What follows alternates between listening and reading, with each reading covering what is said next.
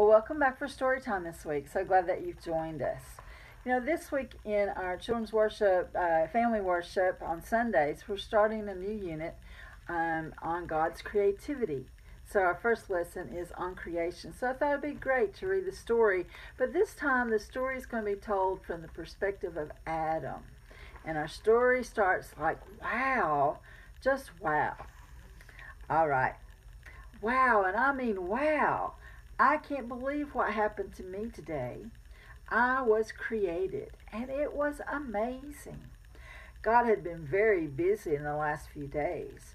First, there was nothing, and then every day God made something new light, the ocean, the sky, the sun and moon, plants, trees, flowers, fish, birds, you name it.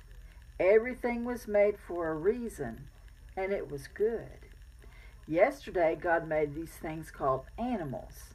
They're wonderful creatures big ones and small ones, furry ones and tough ones, spotted ones and striped ones. Some have long necks, others have sharp teeth. Each one is unique. God is so creative.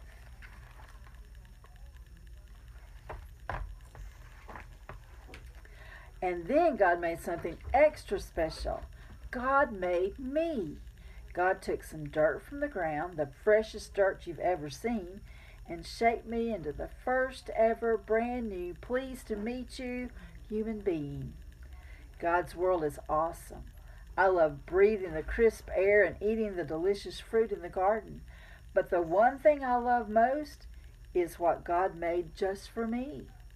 First, God made me go to sleep. And then God took one of my ribs and turned it into the most dazzling creature I've ever seen a woman. She's beautiful, and now she's my wife. We watch over the animals and take care of the garden we live in, the Garden of Eden. Together, God has given us everything we need. God must really love us. Wow.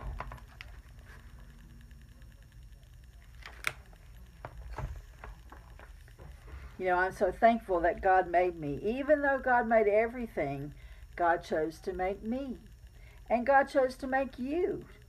God wanted you to be part of our very special world. God made you exactly as you are, and God never makes mistakes. And you know the best part? God made us because He loves us so much, and God will never stop loving us. Isn't that amazing? Now think about all of God's creation. What's one thing in God's creation that just amazes you? Think about what that is and thank God for that today. Thank you for joining us for Story Time.